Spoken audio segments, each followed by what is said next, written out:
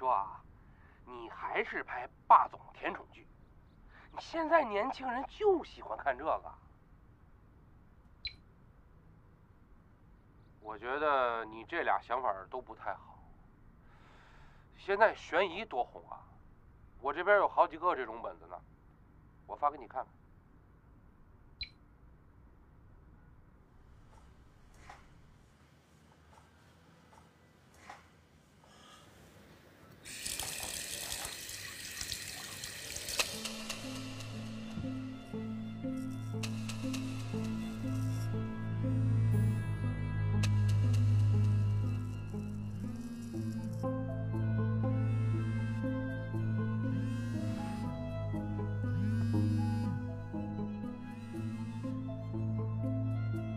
今天晚上两点，我在码头二号集装箱西边等你。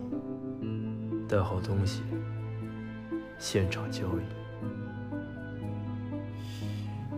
别跟我耍什么花样，你知道我的手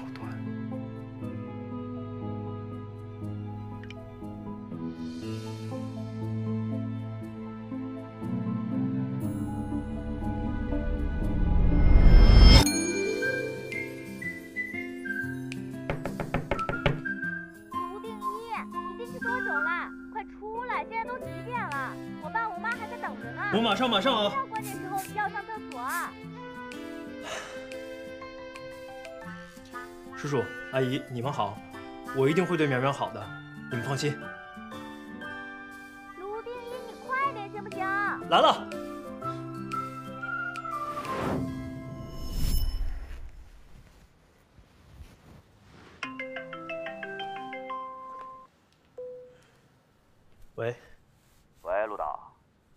昨天咱们收工的时候，我把策划书和剧本拉你后备箱里了。我这边着急用，你能不能帮我送一趟啊？行。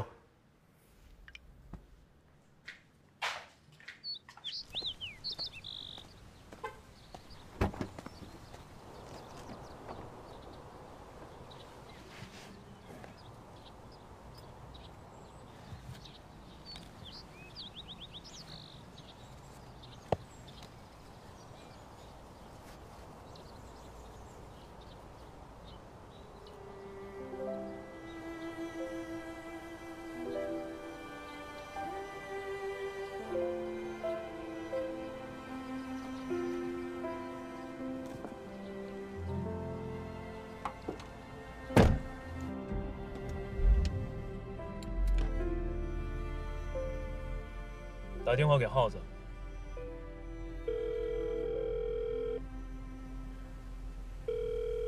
喂，耗子，你猜我今天翻到什么了？什么呀？你还记得咱俩当时去云南边境遇到大暴雨，在村子里困了好几天，好不容易天晴了，咱俩连鞋都没穿就跑出去了。那天我感觉自己好像是刚从笼子里飞出的鸟，终于自由了。是啊，想想当时放弃了好几部大戏，开着车绕了半个中国去找故事，拍了好多照片，收集到了很多真实的故事。当时不是你跟我慷慨激昂地说，当导演就是要坚持自己的想法，拍自己想拍的东西，去体验不一样的生活。我当时二话没说就跟你走了。喂，你怎么不说话了？这些天，我一直在犹豫下部作品该拍什么。现在我决定了，就拍我们到云南收集到的故事，把它拍成电影。我觉得，这才是我真正想要拍的。你等我，我去找你。小王，组长，您说。